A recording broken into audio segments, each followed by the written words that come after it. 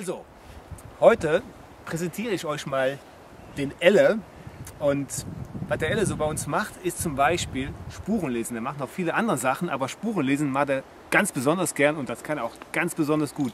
Und heute frage ich ihn eigentlich, warum machst du das überhaupt? Eigentlich keine Ahnung, das ist nur total geil. aber ernsthaft, im Prinzip habe ich ganz am Anfang von dieser Wildeszeit ähm, aus dem Survival heraus äh, gesucht, wie ich an Tiere komme, um mich zu ernähren. Was mich heute so fasziniert, ist eigentlich das Einheimischsein. Also ich muss nicht nach Kanada oder Afrika, um Wildnis zu leben, sondern ich kann mit den Tieren hier in meiner Umgebung vor Ort mich mit der Tierwelt verbinden. Pferdenlesen ist ein super Einstieg in die Tierwelt rein. Und das ist, man stellt fest, ein geheimes Parallelleben, was stattfindet unter uns, schon seit Millionen von Jahren, was wir völlig verdrängt haben. Und da kriege ich jetzt einen Einblick rein, indem ich diesen Spuren und Zeichen folge. Also man muss wirklich sehr genau gucken, ähm, um was zu sehen, das dann natürlich auch richtig interpretieren, aber vorher eigentlich ziemlich wertfrei erkennen, analysieren, was man da sieht. Und ähm, das ist ein riesiges Feld, was irgendwie kein Ende hat. Äh, und äh, fordert sehr, fördert sehr die Wahrnehmung. Also das merke ich sogar in anderen Bereichen des Lebens, ähm, wie mir das da hilft. Es gibt unschlagbar ist letztlich das Rausgehen und das Erleben. Also ich gehe an einen Live-Track, einen Abdruck, ähm, überlege mir, wer das war, was ist hier passiert. Das ist so ein bisschen Detektivspiel und ähm, ja, finde dann raus, was da passiert ist. Ne? Und das ist eigentlich sehr spannend. Äh, und da passiert auch was mit einem. Ne? Man kommt völlig runter, völlig aus dem Alltagsstress raus und ist in der Umgebung drin. Man muss die Sinne gebrauchen, das ist wichtig. Äh, und erlebt das Ganze wirklich multidimensional mit allen Sinnen. Sag mal, hat nicht jedes Tier auch so seine eigene Story, sein eigenes Leben, aus dem du dann leben, lesen kannst?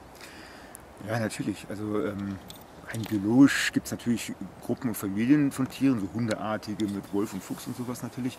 Aber eigentlich ähm, gibt es nicht nur Rehe und Füchse und Dachse, sondern es gibt auch den einen Fuchs. Ne? Hm. Und gerade hier im Camp habe ich das so erlebt, aber bei mir zu Hause auch, ähm, dass wenn ich immer zu einer ähnlichen Zeit, im Zeitbereich, im Zeitfenster rausgehe, an einem bestimmten Ort, ähm, sehe ich eigentlich immer dasselbe Individuum. Du begegnest also einem Lebewesen quasi einer Persönlichkeit. Genau, sagen, genau. Und was mir eigentlich, was mich auch sehr beeindruckt hat, was ich selber am Anfang mal so gelernt habe oder in den Kursen gelernt habe, ist, dass äh, die Menschen oft gewohnt sind, von oben herab auf die Natur zu gucken und sie zu kontrollieren. Und dann ist ein toller Schritt, ähm, eigentlich auf Augenhöhe dem Tier zu begegnen, beziehungsweise ähm, es zu respektieren. Und das kann man nur, wenn man es kennt. Ne? Ich habe also da eine ganze Menge Stories erlebt. Und spannend wurde aber der Moment, wo man eigentlich das Tier sogar über sich hebt und es bittet, ein Lehrer zu werden. Ne? Ich gehe also in die Demut und lerne durch Beobachten ne? und baue eine Verbindung auf. Also dieses Gefühl der Verbindung aufzubauen, das ist was ganz Besonderes. Ne? Ich habe also tolle Erlebnisse schon gehabt, zum Beispiel, dass ich diese Sitzplatzübungen gemacht habe, die ja im Camp ja auch hier vermittelt wird. Äh, da kommen dann die Tiere, wenn man sehr entspannt ist, auch sehr nah. Und das sind tolle Erlebnisse, die wird man ein Leben lang im Gedächtnis behalten, eigentlich in sich behalten und das kann man in keinem Buch lesen. Man muss rausgehen. Ne? Äh, nicht zu viel erwarten, sondern einfach mit dem gehen, was ist äh, und demütig sein. Und dann passieren ganz tolle Stories. Also ein Reh hat schon an mir geschnuppert zum Beispiel am Sitzplatz, ne? weil ich entspannt war. Toll ist auch, das ist eigentlich die hohe Schule, einer Fährte zu folgen.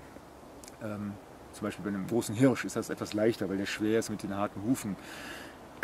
Und wenn man dann mal eine längere Zeit der Spur folgt und was gar nicht so leicht ist über den schwierigen Boden, äh, da muss man gut diese Abdrücke wahrnehmen können. Man muss aber auch die Intuition haben, das Tierverhalten kennen, dass man weiß, wo suche ich denn das Tier, wo könnte das langgegangen sein. Und wenn ich dann dieser Spur folge, baue ich eine Verbindung auf. Teilweise kann man das sogar spüren, dass man auf der Spur mhm. ist. Und das Tollste ist, wenn man es schafft, am Ende der Spur das Tier zu sehen.